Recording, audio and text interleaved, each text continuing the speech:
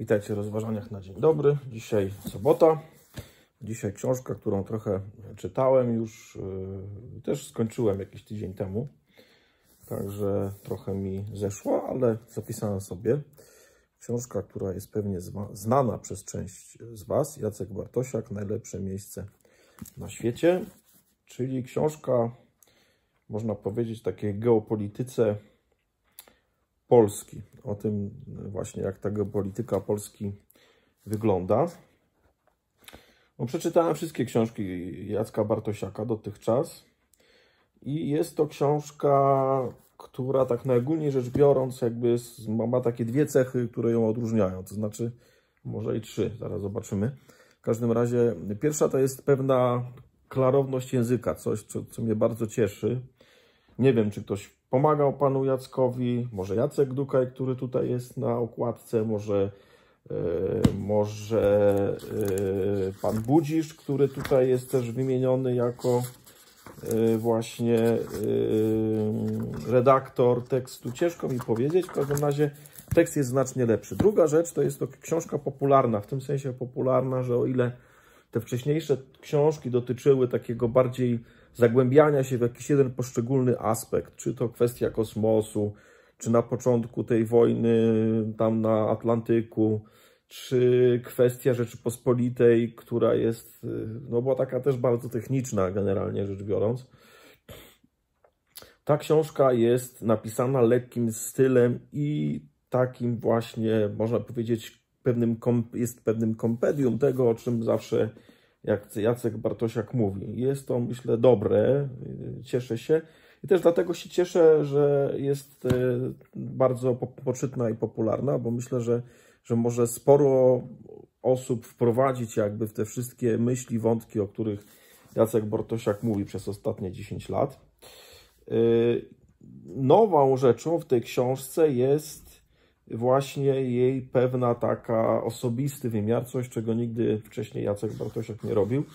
I myślę sobie, że w jakimś sensie yy, chyba uznał, że musi się uwiarygodnić, to znaczy, że musi trochę popisać o tym, dlaczego w zasadzie on pisze i dlaczego uważa, że ma prawo pisać, dlaczego uważa, że wie, o czym pisze. I rzeczywiście ta książka to uwiarygadnia. I myślę sobie, że jest to czymś ważnym. Kolejna rzecz, o której ta książka którą ta książka robi, to pokazuje właśnie nie tylko pewno zaplecze tego, z kim, że tak powiem, się y, Strategy in Future i, i pan Jacek y, znają, ale również pokazuje pewną relację do wieży, czyli do właśnie osób, które są uwikłane w, w tą grę y, taką, można powiedzieć, statusową, znowu mówiąc jego językiem, no czyli generalnie w grę kto kogo, prawda, co jest tak naprawdę przykre i smutne, bo pokazuje jakąś taką, e, no mi powiedział, mm, bieżączkę władzy, tak? która no, oczywiście musi sobie radzić w tym całym, e, w, te, w, te, w tej pozycji wieży, ale jednocześnie pokazuje, że tak naprawdę no, to do niczego nie prowadzi. To jest gra dla gry, to jest coś, co tak naprawdę nie ma większego sensu, no, no bo, bo chodzi o ważniejsze rzeczy. Chodzi właśnie o pozycję Polski i chodzi o, o to, że czemuś to wszystko ma służyć a niestety często nie służy, bo, no bo właśnie, bo siedzą w tej wieży ludzie, którzy nie mają w ogóle wizji, o co chodzi w tym wszystkim. Także Plac przechyla wieżę, amerykański gambit, to jest pierwszy rozdział, który daje pewien smaczek taki osobisty, myślę sobie, że bardzo cenny. O co właściwie w tym wszystkim chodzi? Rozdział drugi to lekcja geopolityki. Rozdział trzeci, trwoga, sen, arebur, to ja bym powiedział o polskiej niewierze, czyli tak naprawdę pokazuje to, że musimy wierzyć w to, że możemy coś znaczyć, żeby coś znaczyć. No, nikt nam nie da tego za darmo. Musimy sobie trochę sami wygospodarować naszą przestrzeń i naszą pozycję, bo inaczej się po prostu nie da. I coś, co gdzieś tam, no mnie powiem szczerze, strasznie denerwuje i cieszę się, że pana Jacka też denerwuje, bo to taką pokrewną duszę widzę w nim, że właśnie takie dorabianie ideologii i usprawiedliwienia do tchórzostwa. Coś, co się w Polsce niestety bardzo często zdarza, co po prostu wścieka mnie tak naprawdę, bo myślę sobie, że to żadna filozofia dorobić do swojego tchórzostwa ideologię. Po prostu e, i jeszcze to ubrać w takie szaty takiego racjonalizmu, e, po prostu jest to śmierdzące tchórzostwo i tyle. I, i, i cieszę się, że, że pokazuje, że nie wolno nam tak myśleć. Po prostu nie wolno. E, rozdział czwarty, wojna to sposób, czyli chodzi o, o to, co właśnie też, no, taki kolejny wątek, który się pojawia w jego myśleniu zawsze, że nieważne są śrubki, nieważne jest Wolski o wojnie, jakkolwiek lubię pana Wolskiego, bo się na tym zna, ale pokazuje, że nie o to chodzi, że geopolityka to jest poziom wyżej albo dwa poziomy wyżej.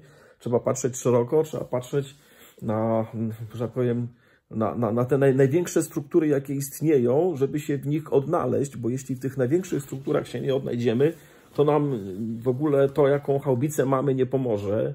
No i tu jest cała jego krytyka oczywiście głupich, y, takich y, wstydliwych, żenujących, y, chlubieniem się, że tak powiem, kto ma większą haubicę. No nie o to chodzi. I, i o tym jest ten, ten rozdział.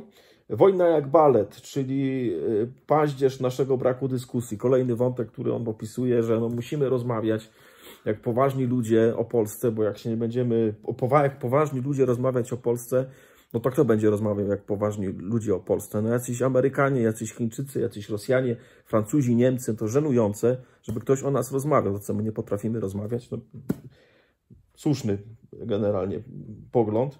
Rozdział 6 sierpień i wcześniej to generalnie o sile Polski i o, o tym, że musimy ustalić tak naprawdę, czy na, na jaką wojnę się przygotowujemy, czy się przygotowujemy na wojnę obronną e, na naszej ziemi, bo inaczej się nie da wojny obronnej prowadzić, czy na wojnę wyprzedzającą, a jeśli na wojnę wyprzedzającą, to czy, czy, czy jesteśmy w stanie, że tak powiem, wziąć na klatę, przyjąć na klatę, co to oznacza. Yy, kapitan Bomba i inni, rozdział siódmy, yy, no generalnie co jest ok, a co nie jest ok w armii. I rozdział ósmy, wojna, którą być może przyjdzie nam stoczyć, czyli o co chodzi, czyli generalnie my wobec atomu. No musimy się zmierzyć z tym, żeby się nie bać atomu.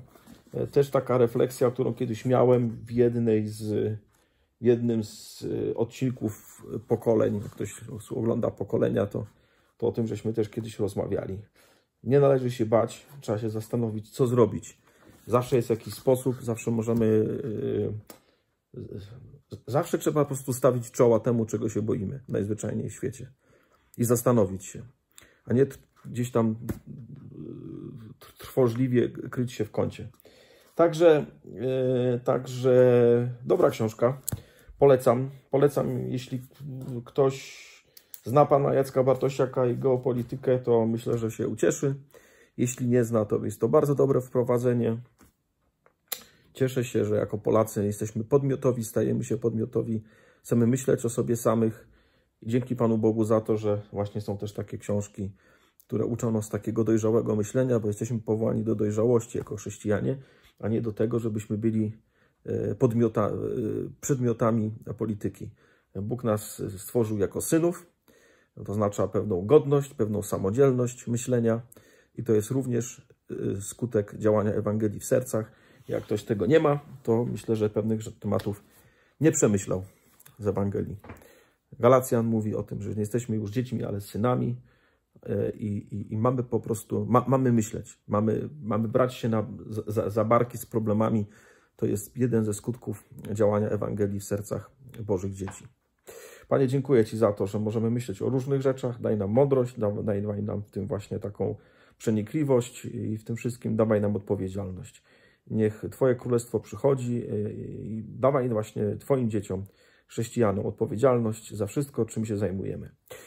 Z Bogiem i do zobaczenia.